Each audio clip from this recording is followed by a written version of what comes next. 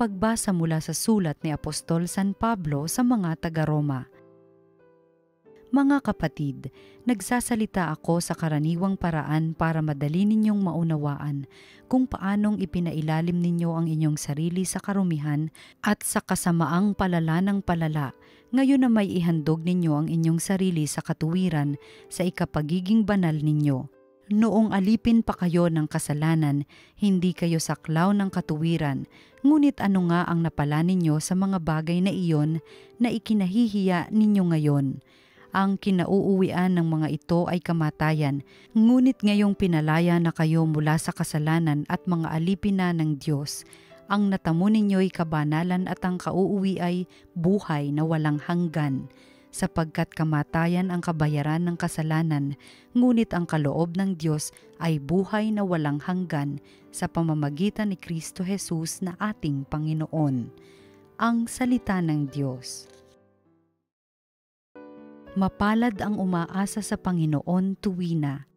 Mapalad ang taong hindi naaakit niyong masasama upang sundan niya ang kanilang payot maling halimbawa, hindi sumasama sa sinumang taong ang laging adhikay, pagtawanan lamang at hamak-hamakin ang Diyos na dakila.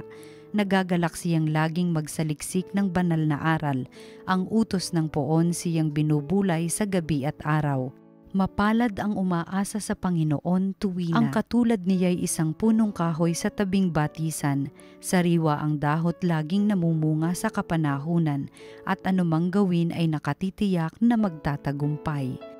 Mapalad ang umaasa sa Panginoon tuwina. Ngunit ibang-iba ang masamang tao, ipa ang kawangis, siya'y natatangay at naipapadpad kung hangi umihip. Sa taong matuwid ay Panginoon ang siyang mag-iingat, ngunit kailanman ang mga masama ay mapapahamak. Mapalad ang umaasa sa Panginoon tuwina. Ang mabuting balita ng Panginoon ayon kay San Lucas.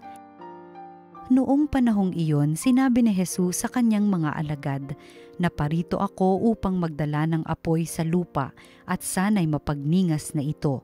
May isang binyag pa na dapat kong tanggapin at nababagabag ako hanggat hindi natutupad ito. Akala ba ninyo'y pumarito ako upang magdala ng kapayapaan sa lupa? Sinasabi ko sa inyo, hindi kapayapaan kundi pagkakabahabahagi.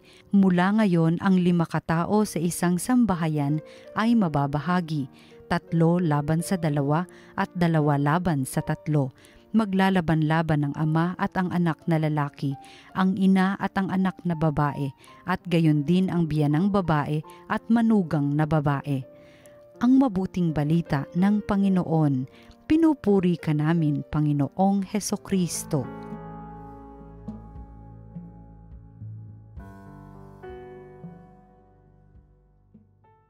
Magandang araw po mga ginigiliw naming taga-subaybay. Tayo po ay nasa ikadalawamput siyam na linggo sa karaniwang panahon, buwan ng Oktubre, buwan ng Santo Rosario. Patapos na po ang buwan na ito ng Oktubre ng Santo Rosario. At alam po natin na isa po yan sa biyaya ng pagdarasal ng Santo Rosario ay ang kailangan-kailangan ng buong mundo ngayon.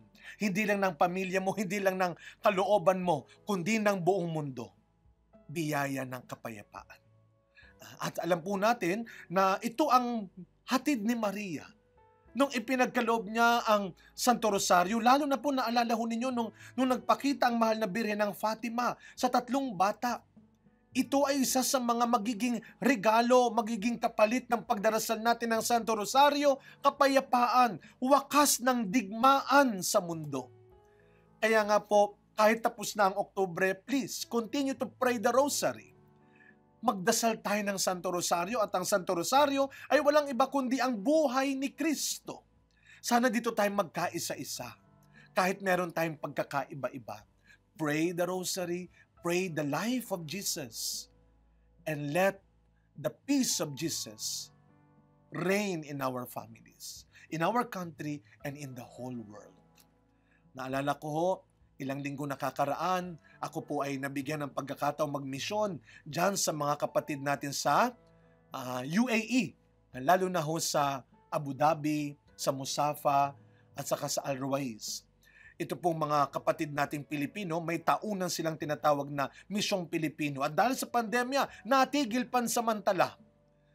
Kaya ho itong kakaiba ang aking pagdalaw, medyo espesyal dahil first time ulit nilang magkita-kita magsama-sama. Uh, kahit ho hindi maganda ang panahon pa, may trabaho, malalayo sila. Congratulations po sa ating mga kapatid na Pilipino dyan sa UAE, particular po doon sa tatlong simbahan na aking pinaglingkuran. Mission sending kami sa huling bahagi ng aming retreat. Retreat po ng mga Pilipino yan. Ang ganda ho ng mission sending.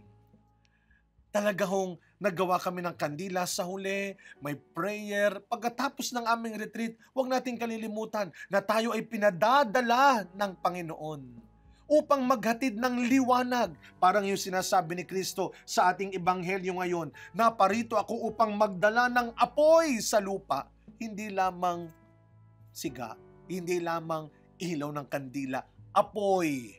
At ang sabi ng Panginoon, at sana ito'y nagniningas na sa inyo ngayon. Tandaan ho natin nung tayo ay kinumpilan lalo na. Pagtapos tayo binyagan, ilang taon, kinumpilan tayo at tinanggap natin ng Espiritu Santo. Alam ho natin na isa sa mga simbolo ng Espiritu Santo ang apoy. Yung para bang naglalagablab. At ang sabi ng Panginoon, sana ngayon ay nag-aalab, naglalagablab na ang apoy na iyan sa inyo. When we receive the Holy Spirit, sana nararamdaman, ah, nakikita sa atin yung paglalagablab ng apoy ng Espiritu Santo. Paano mangyayari yon? Kung tayo ay may puso, dugo ng isang misyonero. Pag sinabing misyonero, hindi ka lang magsasalita. Higit sa lahat, ikaw ay gagawa. At sometimes, yun ang isang mga hindi natin magawa. Nahiya tayong gawin. Yung pumili tayo ng kung ano ang totoo yung piliin mong gawin yung mabuti. Nahihiya ka. Itong mga walang ya at itong mga maling gumagawa, ito yung matatapang. Ito yung mga, sorry, ang kakapal. Pero samantalang tayo kung minsan, totoo naman ang sasabihin mo. Tameme ka. Maganda at tama naman ang ginagawa mo, hiyang-hiya ka. Hindi pwedeng gaya-gaya yan ang sinasabi ng Panginoon. Kung tayo ay puspos ng Espiritu Santo, hindi ka gaya-gaya. Hindi ka uto-uto lang. Kaya ang sabi ni Kristo, ang akala nyo ba ang dala ko ay kapayapaan? Baka sabihin ninyo, eh Father, di ba sabi mo kani-kanina lang? That the rosary brings peace to our family, to the world. Pero yung kapayapaan ay hindi yung kapayapaan lang na naiisip natin. Walang away, Walang tensyon, walang gulo, walang kontrahan. Hindi. Doon hinanda ni Kristo ang kanyang mga alagad. Hindi pwedeng gagaya lang kayo. Kaya nga lagi natin sinasabi sa ating mga matatanda, Ah, sinasabi natin, samahan niyo yung mga kabataan, kayong mga pari, kayong mga leaders, kayong mga nakatatanda, samahan niyo kasi yan ang gusto ng mga kabataan ngayon. Sinasamahan sila, pero hindi sinasabayan ang kalokohan kaya tayo sumasama sa kanila ay para maging mabuti at tamang halimbawa sa kanila. At hindi lang kukonsente sa anumang mali, anumang masama sa kanila. Kaya sabi ni Kristo, hindi kapayapaan, kundi pagkakabahabahagi. Maganda ho sa Tagalog, pagkakabahabahagi, hindi pagkakasira-sira. We can be divided but not destroyed. Magkakabahagi tayo. Pero hindi yung nagsisiraan. Hindi mo kailangan saktan, sirain, pabagsakin yung mga taong nagkakamali, naliligaw. Samahan mo sila para maiahon mo sila, mailigtas mo sila. What you can do, it is your power. And what others can do to you, it is your choice. And what is that power in you? The Holy Spirit.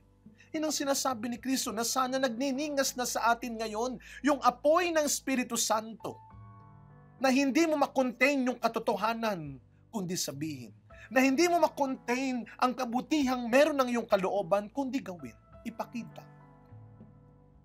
Kaya sa araw na ito mga kapatid, huwag tayong matakot sa sinasabi ng Panginoong, I do not bring peace, but division. We have the gift of the Holy Spirit in us. Ang Espiritu Santo ang magbibigay sa atin ng lakas ng loob ng may kapakumbabaan. Lakas ng loob ng may kababaang loob. When we say the truth, when we do the good, the beautiful and the right, we do it in the right way, Mga kapatid, ipagdasal natin araw-araw na tunay na maglag maglagablab ang Espiritu Santo sa pagkatao natin tunay na mapuspos ng Espiritu Santo ang buhay natin. Tandaan natin, ang Espiritu Santo, ang liwanag at lakas upang magampanan natin ang anumang misyon natin bilang mga binyagang Kristiyano, binyagang Katoliko. Samahan niyo po ako sa isang maikling panalangin. Sa ngalan ng Ama, ng Anak, ng Espiritu Santo. Amen. Panginoong Jesus, nagpapasalamat po kami sa lahat ng itinuro mo sa amin. Salamat sa mabuting halimbawa ng pagsunod at paglilingkod. Hinihiling po namin. Turuan mo po kami at gabayan pa rin na mapuspos ng Espiritu Santo sa bawat iniisip namin, sa bawat sasabihin at gagawin namin, upang ito, ang lahat ng ito, ay tunay na maghatid ng kapayapaang nagmumula lamang sa iyo. Pag-isahin niyo po kami. Gabayan niyo po ang bawat isa. Ibalik mo ang kapayapaan sa aming kalooban, sa aming pamilya, bansa, at kapayapaan sa sandaig